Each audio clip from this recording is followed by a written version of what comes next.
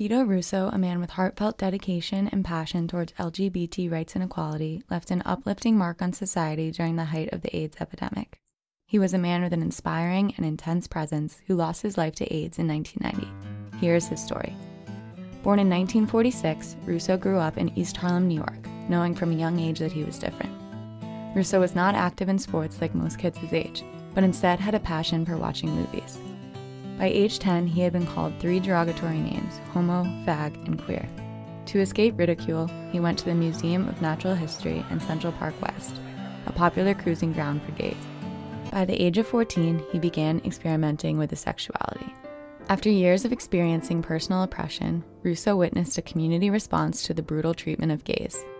Although Vito did not take part himself, he sat in a tree in the park and watched the Stonewall raids take place. However, the police raid of Snake Pit Bar on March 9, 1970, was what truly inspired Russo to become involved in the LGBT movement.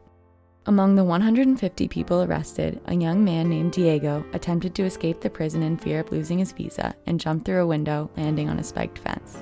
Upon demonstrations and leaflets stating, no matter how you look at it, Diego Vinales was pushed, Vito made his political connection to the oppression of gay people. After joining GAA, Russo recognized that a coexisting cultural revolution was taking place. Many homosexuals would prefer to go to GAA firehouse dances than participate in political meetings. Vito referred to them as politics you could dance to, providing sexual liberation for all who attended.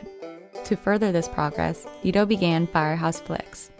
This was an all night movie festival in the GAA Firehouse that provided another form of community and a place of safety for the LGBT. As the GAA degenerated over their lack of organization, Vito focused on his writing career. More significantly, he worked in the Museum of Modern Art as a graduate student in cinema at NYU. Russo began sifting through film archives to discover representations of gay characters from the late 1800s to today for his book, The Celluloid Closet.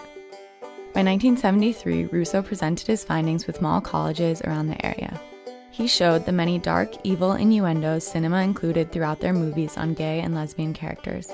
Even after the censorship code on banning homosexuality was broken, gay characters were still punished, creating a fear of homosexuality. Over 15 publishers rejected the celluloid closet before Harper & Co. finally accepted it in 1981. It became a top selling piece as Russo was the first person to ever write about how Hollywood treated homosexuals. Vito furthered publicity on his success by hosting Our Time, the first ever gay television show which provided segments ranging from gossip to outing, overall promoting that gay is good. In the midst of the AIDS epidemic, Russo fell in love with a man named Jeffrey, who was diagnosed with AIDS. This marked the beginning of Russo's legacy battle as he transitioned from a gay activist to an AIDS activist. Being diagnosed with AIDS in 1985 and losing Jeffrey the following year, Russo was motivated to speak out against the media's inaccurate portrayal of the disease. He became one of the eight founding members of GLAAD that were attacking the media institutions oppressing LGBT communities fighting AIDS. He also participated in ACT UP's March of 1987, where they chanted, Fight AIDS, ACT UP, Fight Back. He wore shorts exposing his sores, demonstrating that if he had AIDS and was still fighting, other people could too. In 1990, during the ACT UP Pride March, while too sick to walk, Russo appeared on the balcony of Larry Kramer's apartment and everyone started chanting, Vito, Vito, Vito. Russo passed away that November. However, his legacy still lives on. After we kick the shit out of this disease, we are all going to be alive to kick the shit out of this system so that this never happens again.